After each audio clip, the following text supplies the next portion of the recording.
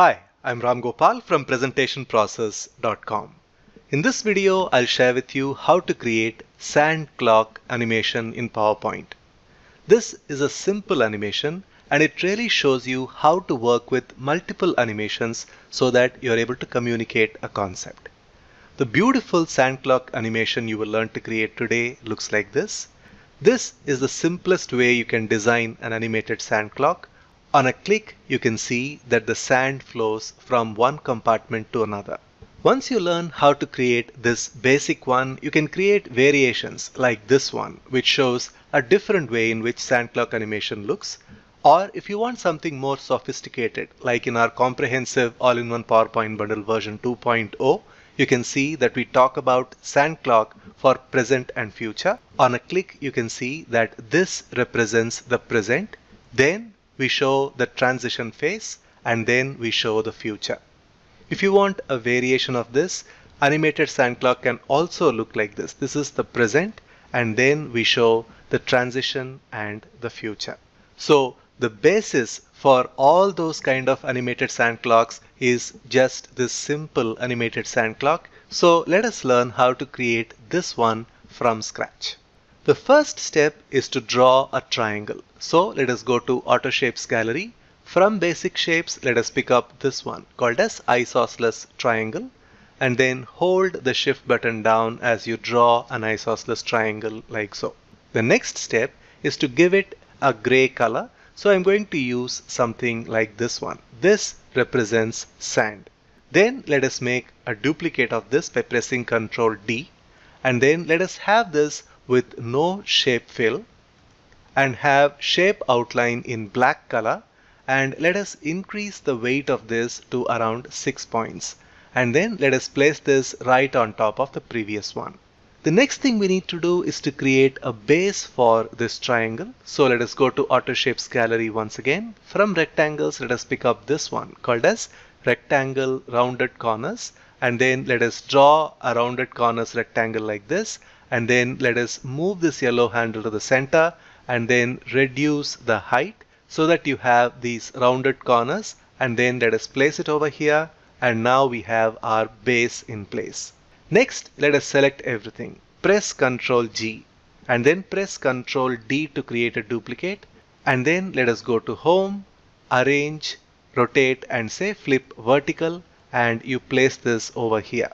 So we have got our basic sand clock ready there is one other thing that we need to have which is a rectangle and that represents the flow. So let us go to Auto Shapes Gallery, pick up the rectangle tool and draw a thin rectangular bar like this that extends from the neck of the sand clock to the bottom.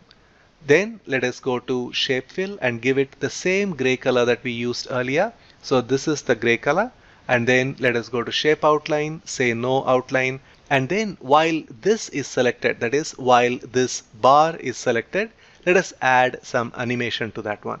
The first thing we need to do is to go to animations, go to a simple wipe animation and this wipe needs to happen from top and that is our first animation. That is the rectangle that we created is going to enter as wipe from top to the bottom. Excellent. The next thing we need to do is to ungroup these elements so that we can animate the sand. Then we go to the inverted triangle and then let us have this wipe down. So let us go to animation options, go to exit and say wipe and the direction needs to be changed from bottom up to from top. So that is how it goes down and we can decide the duration of this transition. So we can have this maybe for around two seconds or two and a half seconds. It's completely up to you. We can say this happens after previous. While this chamber empties out by way of wipe out animation, we will have this chamber filling in.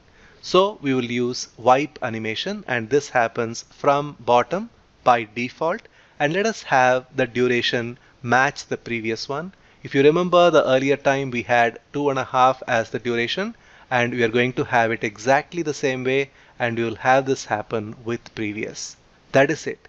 We just have three simple animation events. The first one is the rectangular bar wiping in. and then this wiping out and this one wiping in and let us see how the slideshow happens. You can see we have the sand in the top chamber. On a click we have the sand pouring down and then this chamber emptying out and this chamber filling in. It's that simple to create this sand clock animation. You can use this simple animated icon to talk about present and future or about before and after. There are multiple uses to this simple animated graphic. Remember, our endeavor has always been to teach you simple things that help you give confidence in creating your own animated diagrams. However, if you are a busy professional who doesn't have the time to create these animated graphics for your presentation, then you can always go for our comprehensive all-in-one PowerPoint bundle. This bundle has more than 4020 premium PowerPoint templates that allow you to create visual presentations in a matter of minutes. Let me show you a template from our all-in-one bundle that communicates the concept of going from present to future using an interesting animation.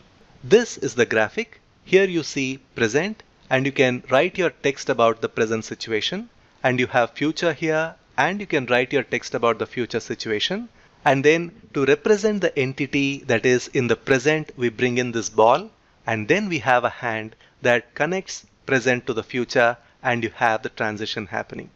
It's a very interesting way to communicate your story using animation and this is available as a ready-made template in our all-in-one bundle. In our version 2.0 we are planning to have something even simpler like say this one. This shows dead end and this is the bright future and you can see that this is how we label each of these elements and then a hand comes and shows the movement from here to here and what you can do or what strategy you can use to go from the present to the future.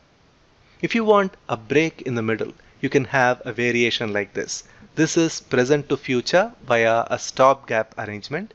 We have the current situation and then we have the desired future and we have the stopgap arrangement which is shown like this. Isn't this beautiful?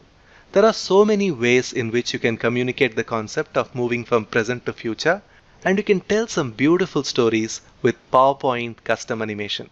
I will leave a link to comprehensive all-in-one PowerPoint bundle in the description box below the video. You can click on the link, come check out this product and see how this product can change the way you create your presentations. Finally, if you want to access free mini training courses on PowerPoint that I share only with my newsletter subscribers, you can click on the link here, join the newsletter, and get access to these useful and practical mini training courses on PowerPoint. Thanks a lot for watching this video. I'll see you in the next one.